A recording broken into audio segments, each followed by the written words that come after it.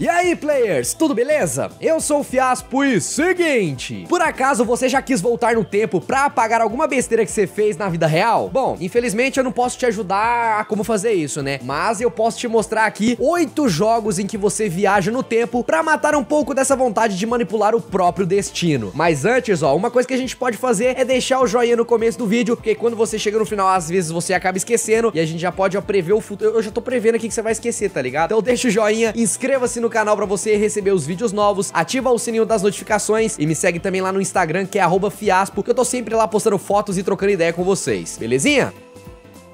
Todo mundo aqui já tá cansado de saber e conhece muito bem o Cleitão, né? O Kratos, mas pros mais íntimos é o Creitão. Ele é o bom de guerra que passa sua vida toda sendo passado para trás por Ares. Ele mata a serviço dos outros deuses do Olimpo que concedem o trono do próprio Ares lá no final do, do, do God of War 1. Só que aí depois acontece o quê? Todo mundo trai ele no God of War 2, arrancando todo o seu poder divino. É uma tristeza. Cleitão então, todo acabado ali, quase morto, só o pó da rabiola, quando quando é salvo por Gaia, que lhe dá uma dica maravilhosa de como reverter a sua situação ali que tava toda desgramenta, né? Que era o quê? Voltar no tempo e impedir que aquilo tudo ocorresse. Então, Kratos pegou lá suas lâminas do caos, vai até as Moiras, que são aquelas irmãs divinas que controlam o tempo e o destino também. Ele foi lá fazer um pedido para elas, elas não quiseram saber, não queria nem olhar na cara deles, não quis ajudar. Aí quando você vai lá e não faz o que o Kratos quer, o que que acontece? É porrada. Falou não pro Kratos, não tem essa, meus amigos.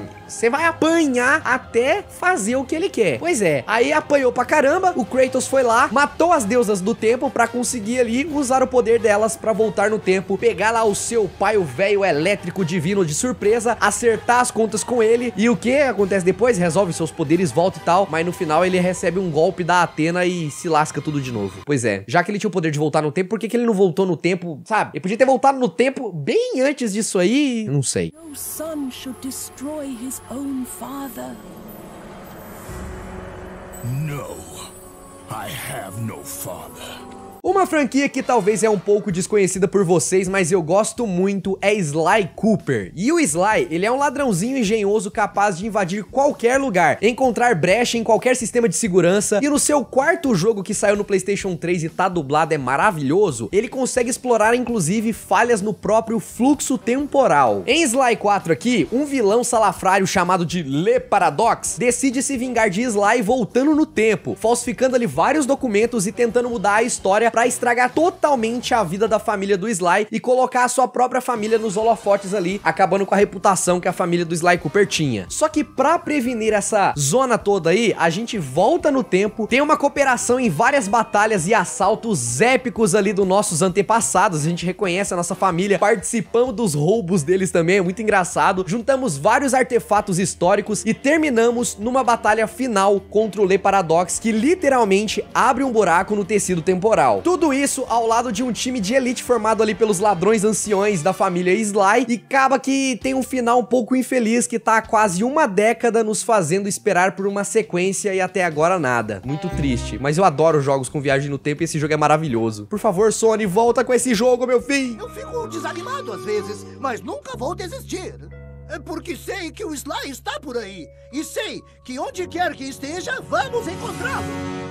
E como a gente poderia falar de viagens no tempo sem falar de um dos primeiros e melhores jogos a se tratar desse assunto aí e trata com perfeição, que é o clássico RPG do Super Nintendo Chrono Trigger. O jogo começa com o protagonista Chrono se divertindo em um festival com a sua amiga a princesa Marley, que se arrisca a testar uma máquina de teleporte que foi criada ali pela Luca, só que em vez dela ser teleportada de um lugar para o outro ali, que era para funcionar e tal, ela acaba sendo teleportada não só no espaço como no tempo, indo direto pro passado. Aí a gente então entramos também junto aí nesse túnel do tempo, salvamos a menina e a sua ancestral, voltamos pro presente, acabamos presos sendo acusados de tê-la sequestrado e daí pra frente é só doideira, galera. É um negócio muito cabuloso ali. A viagem no tempo aqui é o principal foco, é uma coisa magnífica. A gente consegue depois fugir da prisão com a nossa amiga usando um túnel temporal. Descobrimos que existe um monstro alienígena chamado Lavos e um feiticeiro safado aí tramando a destruição da humanidade e passamos aí o jogo inteiro viajando por períodos históricos, fazendo amizades com várias pessoas de várias épocas diferentes. Também resolvemos conflitos de famílias no passado, que no futuro lá a família tinha vários problemas, e se você mexer em alguma coisinha no tempo, aquilo se resolve, é muito legal. E por causa de você poder alterar vários fluxos temporais, você pode até fazer 13 finais diferentes. É uma loucura, velho. E tem até o final lá que você pode terminar com o Crono morto, que é seu personagem principal. É tenso. A série Zelda tá cheia de jogos que tratam de pendengas temporais, tipo A Link to the Past e Ocarina of Time, que tem past, passado e time ali, né, que seria tempo no nome. Mas existem também jogos menos suspeitos cuja gameplay inteiro gira em torno de viagens no tempo, e o melhor exemplo é o Majora's Mask. Pra quem não sabe, em Majora's Mask, nós enfrentamos uma situação semi-apocalíptica em que basicamente um mini macumbeiro caveira chamado Skull Kid toca uma maldição no Link e com a ajuda de forças ocultas faz com que uma lua pistola feia pra cacete caia em direção à cidade e acabou. É isso aí, vai cair, vai destruir tudo. Pou! Essa lua aí demora três dias dentro do jogo pra cair e você tem esse tempo todo pra tentar completar o máximo de missões possíveis pra acumular itens, chaves e novos poderes. Voltar no tempo depois, resolver problemas novos com suas habilidades novas no começo do dia, repetindo esse ciclo aí uma porrada de vezes até conseguir reverter totalmente a situação. É um negócio muito louco. É isso aí, a sua mãe é uma porcaria! Porcaria! Pra fugir um pouco aí da mesmice dos jogos de Dragon Ball, que se limitava ali recortar a história dos animes e transformar em games, não que isso seja ruim, mas teve aqui o Dragon Ball Xenoverse, que criou uma história completamente nova, em que dois vilões chamados Toa e Mira estão zoando a linha temporal aí e manipulando os eventos históricos do anime, olha só que legal. O que acabou fazendo com que o Trunks do futuro, o patrulheiro ali do tempo, invoque o Shenlong e peça a ele por um herói que o ajude a restaurar a ordem. E esse herói é nada menos, nada mais do que você próprio. Apesar de alguns eventos originais, a maior parte das missões de Dragon Ball Xenoverse gira em torno de viagens no tempo e consistem basicamente em viajar para momentos importantes da saga, encontrar a distorção na falha temporal, tipo, ah, eles vão lá fazer com que o Freeza consiga derrotar finalmente o Goku. Isso aí vai quebrar totalmente a história original do bagulho, entendeu? Você tem que ir lá e resolver essa treta toda aí no soco com seus poderes, acabar com os demônios safados e aquela coisa que a gente já sabe e tal. I really don't know much about you, but you really helped me out. Let me be the one to finish this though. No clássico Play 2, a série Prince of Persia ficou mega famosa pelo seu uso da viagem no tempo. Era uma parada muito louca lá, você pegava a espadinha, que um ai, cai no buraco.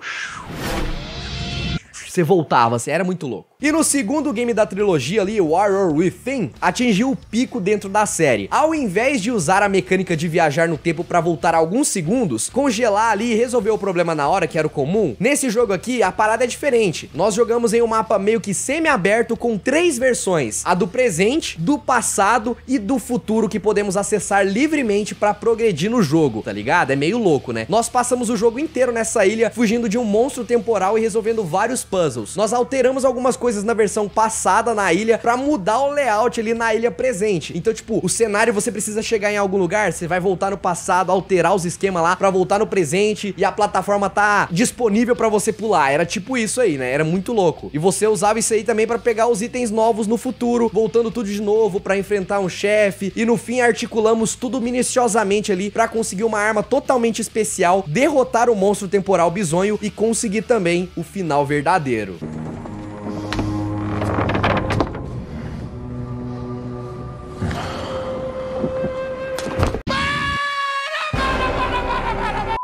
Outro jogo clássico que brinca com o conceito de viagem no tempo é o famosíssimo Sonic CD, um game em que o Dr. Robotnik zoa a continuidade das linhas temporais para dominar um planetinha satélite e criar uma sociedade bizarra, distópica formada por suas máquinas. Para libertar esse planeta aí que foi abduzido pelo Robotnik, precisamos coletar as pedras do tempo que nos permitem viajar no tempo e acessar três versões de cada fase, uma versão do passado, uma no presente e a outra fase no futuro. Aí a gente precisa passar todas essas três versões de todas as fases, restaurando a continuidade temporal e salvando o planeta também. E se por acaso você deixa alguma versão de alguma dessas fases passar, o jogo nos apresenta um final ruim, onde o Dr. Robotnik ou o Eggman consegue dominar o planetinha novamente e nós somos obrigados a voltar tudo de novo e salvar todas as versões temporais de todo jeito, não tem como.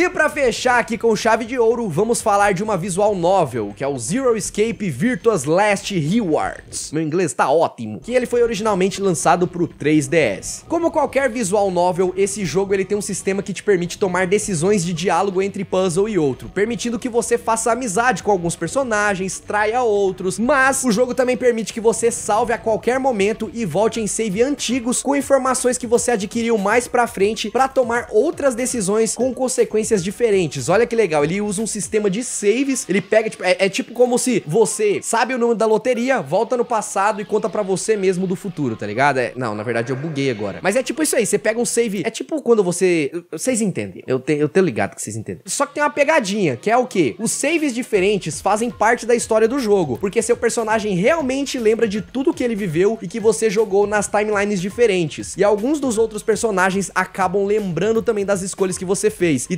transformam o jogo em um puzzle temporal imenso, cheio de vai e volta para você resolver as coisas muito doido. Amberjack's Game! E aí, você também lembrou de algum outro jogo que dá pra viajar no tempo? Comenta aqui embaixo que eu vou dar uma olhada. Não esquece também do seu joinha se você curtiu esse vídeo. Inscreva-se no canal e dá uma olhada aqui nas outras curiosidades. Tem listas aí pra vocês toda semana e vídeos novos toda quarta, sexta e domingo, sempre 7 horas da noite. Fechou? Eu vou ficando por aqui. Um grande abraço a todos e tchau, tchau!